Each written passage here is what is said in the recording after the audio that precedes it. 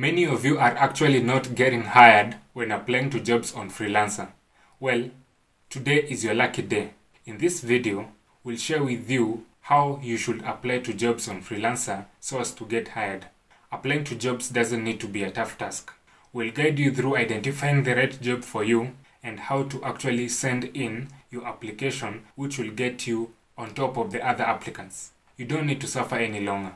My name is Vince, and this is Actionable User, whereby we help you become more actionable when using Freelancer. Without wasting much of your time, we'll jump right into this video and you'll see exactly what I'm talking about. I'm currently in Freelancer, as you can see, and I want to show you how to apply for jobs.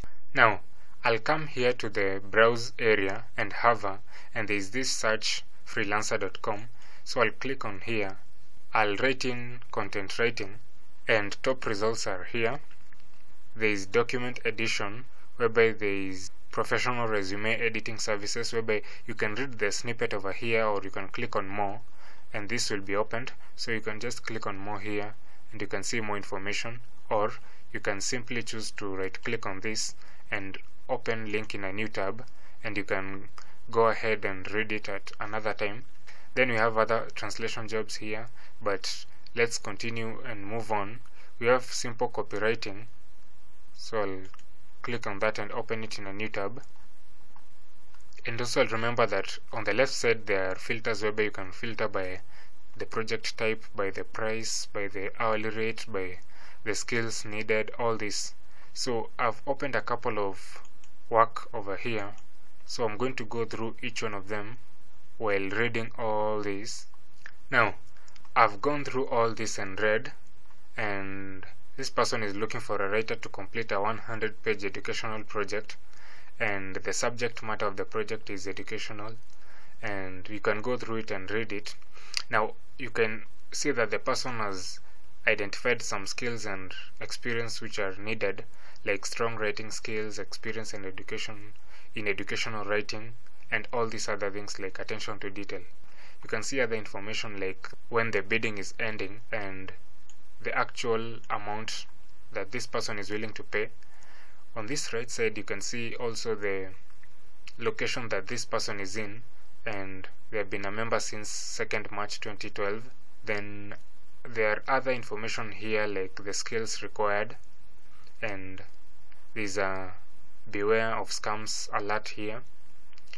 Then there is more information as we scroll down and you'll see place a bid on this project. As we move down we can see that one is allowed to describe their proposal with a minimum of 100 characters. We can go to Microsoft Word and read all this and make sure that we understand. Then we can come here paste our proposal here and it should be a minimum of 100 characters and this is what makes us the best candidate for this project. So ahead of time I had gone to Microsoft Word and I had read all these things and I had crafted a proposal. So let me open it and show you. And guys remember that if you like to see a video on how to write the best people per hour proposal then you can check the link in the description below. So let me quickly go to Microsoft Word yeah so I had read all these things and written this so I'm going to click and copy all of this. I'll come here to freelancer and in this describe area I'll paste it in. And also I'm being told here to define a milestone whereby I can define a task I will complete for this. So here you can say you can state a project milestone or you can just leave it blank here so for today I can leave it blank or I can say something like yeah research and writing or any other thing. Then you can edit this or leave it like that. Then when we move down we can see optional upgrades whereby you can click here to sponsor this post.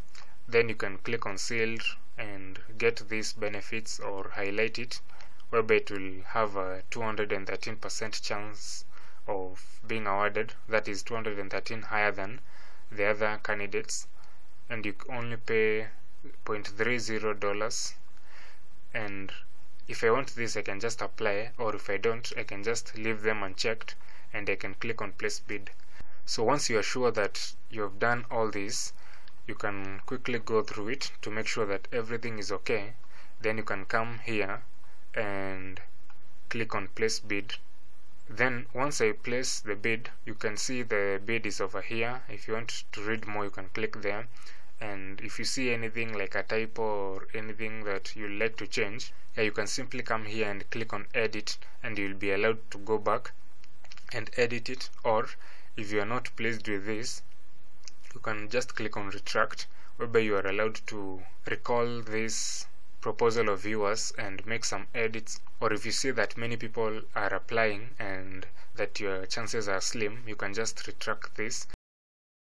You've seen it all guys. That is how you can apply to jobs on freelancer. It doesn't need to be a tough process. If you like to know how to write the best freelancer proposal check the link in the description box below for that. Also if you think that i forgot something also remind me in the comment section subscribe to this channel, like this video and share it with your friends. And guys, I'll see you on the next video. Goodbye.